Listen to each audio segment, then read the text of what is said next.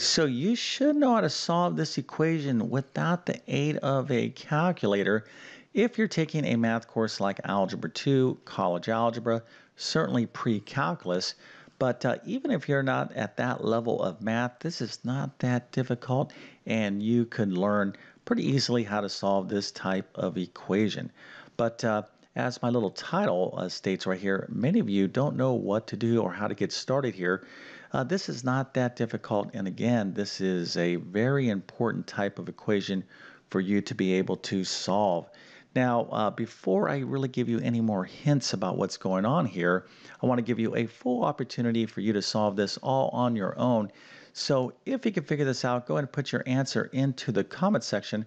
And then, of course, I'll walk through the solution step by step. And again, if you're not at this, uh, you know, more advanced level of mathematics, I guarantee you, you'll be able to understand the solution as well. But uh, before we get started, let me quickly introduce myself. My name is John, and I have been teaching middle and high school math for decades. And it really is my true passion to try to make learning math as easy as possible. So if you need assistance in mathematics, check out my math help program at tcmathacademy.com.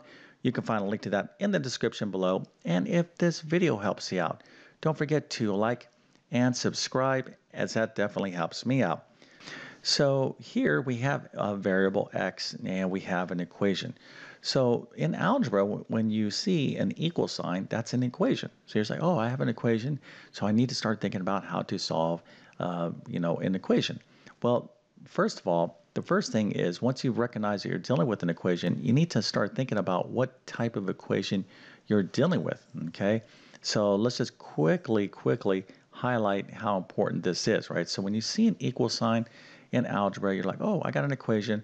Well, what type of equation? Do you have a linear equation? Do you have a quadratic equation? Do you have a system of equation? Maybe you have a radical equation. Maybe you have a rational equation. Maybe you have a logarithmic equation. Maybe you have an exponential equation. You get the idea, right? How we solve these different type of equations are um, uh, they're different from one another. Okay, they have their own uh, strategies and techniques and procedures, if you will. So there are a lot of different type of equations in algebra. Okay, and there's many more beyond this. So the way you get good at solving equations is literally just take it one step at a time. Okay, that's why you have to take uh, you know, great math notes and you have to practice this stuff. Okay, but the first order of business is to recognize what we're dealing with. And here we're dealing with an exponential equation because the variable, what we're uh, trying to solve for, x, is located in the exponent position. So for example, I have uh, if I have 2 to the third power, this 3 is the exponent, okay? 2 is the base, the entire thing is a power. Okay, so if I'm solving an equation where the x is in the exponent location, this by um, definition would be an exponential equation. Now, typically, uh, you're going to, uh, when you see an exponential equation, you're going to be thinking to use logarithms. Okay, so uh, this is uh, the most common way to solve exponential equations. And when you see a logarithmic equation, you're going to use exponents. That's because logarithmic and exponential functions are inverses of one another. This is a very big topic in mathematics. So when you study log um, or exponential uh, equations, you're also going to study logarithmic equations. But uh, in this particular problem, we don't have to use logarithms to solve. Okay, so even if you don't know what that what a logarithm is, you could still solve this problem using the techniques I'm going to show you here in just one second. Okay, so again, first things first, you know, uh, when I give you the problem or when you see a problem, you got to just use pattern recognition and try to determine, hey, what type of equation is this? What do I need to be doing? Uh, so that's the first thing. Now, the second thing uh, I want you to see here is that we're dealing with uh, powers. We've got we have one power, and it's being divided by another power. Okay, so we have this power being divided by this power. So we need to know something about division of powers, and this is where our next step comes into. And our next uh, step is to recognize uh, one of the properties of powers and exponents. Okay, this is really super important stuff, and this is like basic first year algebra uh, kind of uh, material here. Uh, now there are other properties of powers and exponents, but here is the one that's applicable for this particular problem. So if we're trying to divide one power by another power, so the rule is like a to the n uh, being divided by a to the m, that's equal to a to the n minus m. But what does that mean? Well, a is the base, okay? So if the bases are the same, we can subtract the exponents.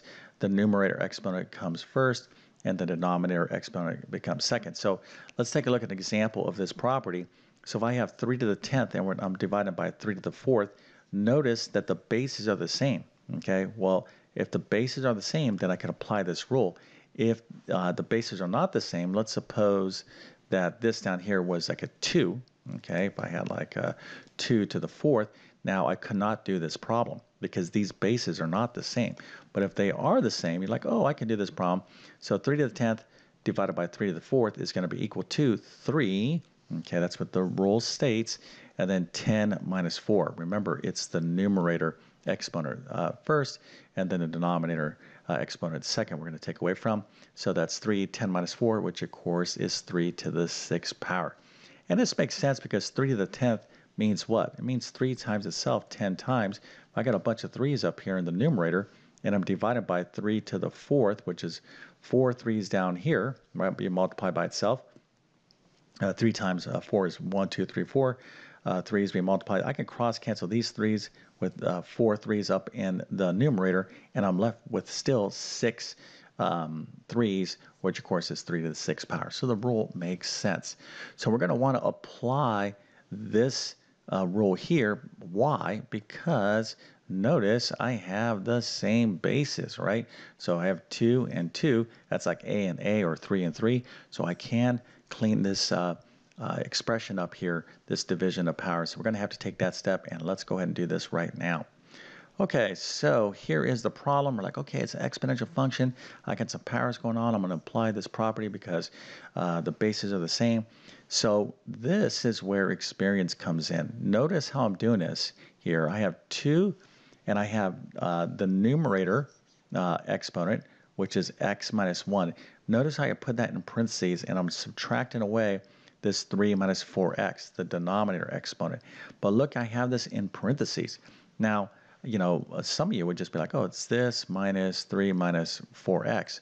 If you just write it this way, this will this is a very common mistake, okay? So many people will have the general idea how to do this problem, but they're going to get it wrong at this stage right here. Okay, so this is where experience comes in. Anytime you're dealing with sums or differences in algebra, put parentheses around these expressions. Okay, very, very important stuff because here now, because you have these parentheses, this negative is going to get distributed to this, this 3 and this negative 4. So the resulting expression is going to be 2 to the x minus 1. Okay, this is going to be minus 3, and then minus times a minus, or negative times a negative is positive, positive 4x. Okay, if you didn't have parentheses, you would still have that minus 4x there, and of course, it would cause you to have the wrong answer. All right, now let's go ahead and take the next step here and combine like terms. We have x and 4x, which of course is 5x, and then negative 1 and minus 3 is negative 4. Okay, so now we're at this stage. We have a basic lovely exponential equation. So how can we solve this problem? Well, uh, you, again, you could use logarithms to solve this problem, but this is not that difficult. Matter of fact, it's downright easy to solve without the aid of a calculator, without logarithms. And I'm going to show you this uh, steps or the steps to get to the solution easily in just one second. But uh, before I do this, before I show you these steps, I would love for you to take the step and hit that subscribe button and notification bell if you are already a subscriber. Thank you so much. If you're new to my channel and if you're getting any value out of my content, uh, you know, my passion is to try to give you clear and understandable instruction. And I'm trying to teach you things that you're not going to find in uh, math textbooks. Okay, uh, you know there might be kind of hidden things. Uh, math text or math textbooks and stuff are great, uh, and I collect. I have hundreds and hundreds and hundreds of textbooks. But here's the one thing in textbooks that they can't do. They can't translate to you and emphasize, you know, common mistakes, the things that students do.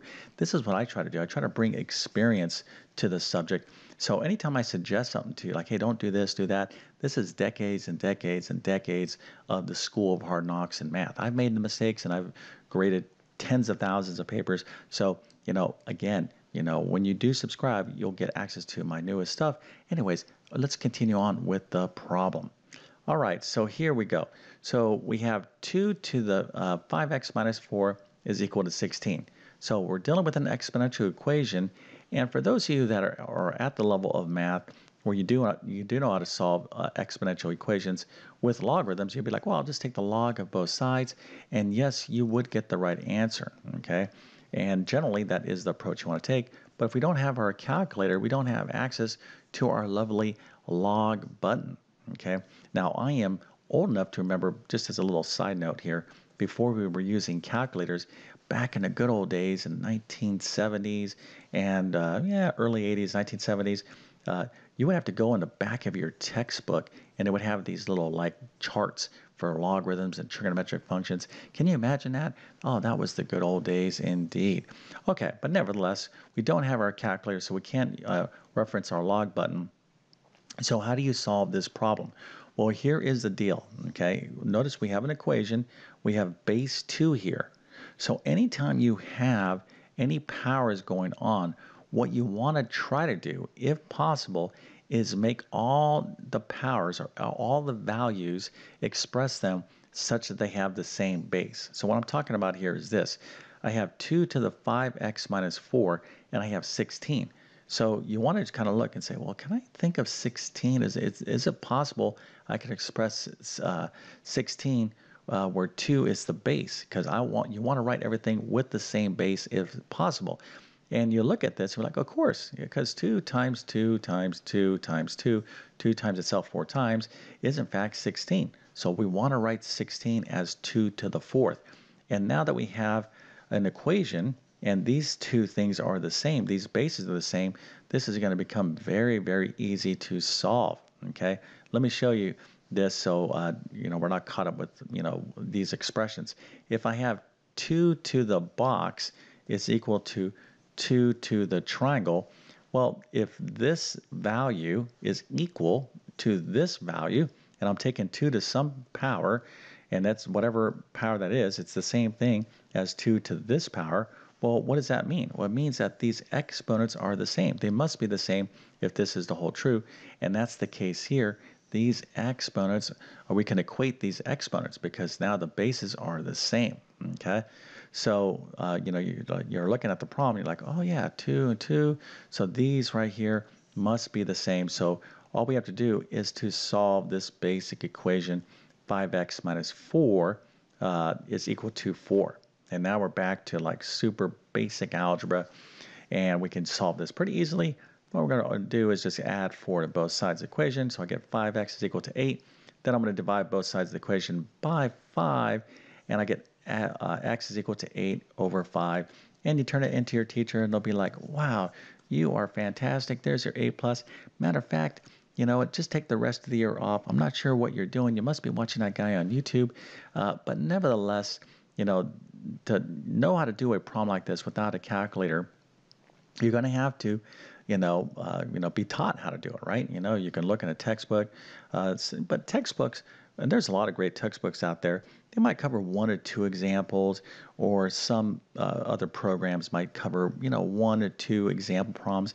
See, in my, uh, especially my math courses, I cover a wide variety of problems because you need to see a lot of different varieties of basic problems, challenging problems, different scenarios. That's the way you get better at math. In other words, you have to practice, but you can't practice this stuff unless you get clear and understandable instruction.